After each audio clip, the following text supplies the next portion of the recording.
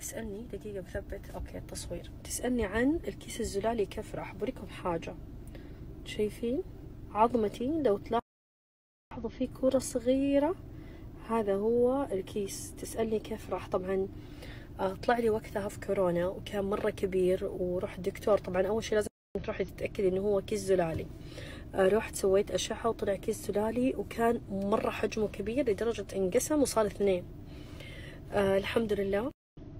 أحكيكم الحين صار آه حطيت زنجبيل. كان عندي خلاص عملية عشان آه أعمل له إزالة. فوقتها خلاص استخرت. مع انه أمي مرة كانت رافضه إني أسوي هذه العملية مع إنه شيء مرة بسيط يعني. وأنا أسوي بديكير وقتها فتقول لي العاملة تقول لي حنان جربتي الزنجبيل؟ إنه نحن عندنا يجرب هي كانت فلبينيه قلت لها زنجبيل؟ قالت لي إيوه تخيلوا كان ثاني يوم عندي عملية. وزي ما أقول لكم قعدت توصف لي صديقتها كانت تعاني من هذا الكيس واستخدمت الزنجبيل الطبيعي إنها تقطعه شرايح شريحة مرة خفيفة تحطيها في الميكروويف تعدي بالثواني واحد اثنين ثلاثة قفل الميكروويف.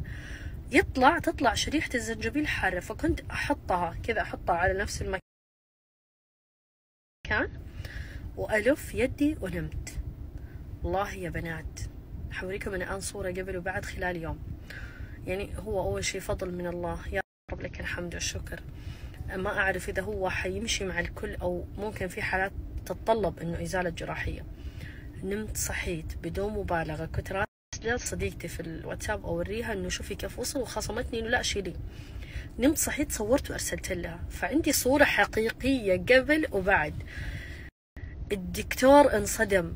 يعني زي ما أنتم شايفين صغير وأحيانا يختفي يروح أرجع أشتغل كثير يرجع وقت الشغل يرجع. بس يا رب لك الحمد كيف كنت وكيف صرت. شوفوا بنات هذه هي شرايح الزنجبيل الأخضر قشرته وقطعته بهذا الشكل شرايح. خلاص وأحطه في صحن. شوفوا بعدها عن مايكروويف طيب حطيته في صحن حشغل. أعد واحد اثنين. ثلاثة أربعة خمسة. خمسة ثواني أوقف. سمعي؟ كيف أصلا كذا؟ طق طق. خلاص حتخرجيه من الميكروويف حيكون حار يعني حقيقي حار. آه حتحطيه على الكيس وتلفي يدك بشاش مطاطي بأي حاجة عندك بس الشاش أفضل وأنظف.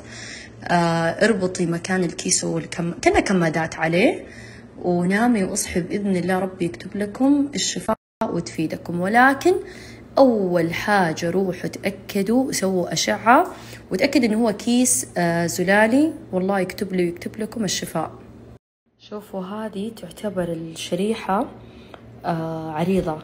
قد ما تقدري نحفي شريحة الزنجبيل وحطيها على مكان الكيس. صابون العكيس ولفيها ما شاء الله تبارك الله يا بنات. شوفوا كيف الكيس اللي كان عندي هنا. كان عندي كيسين آه زلالي في يدي.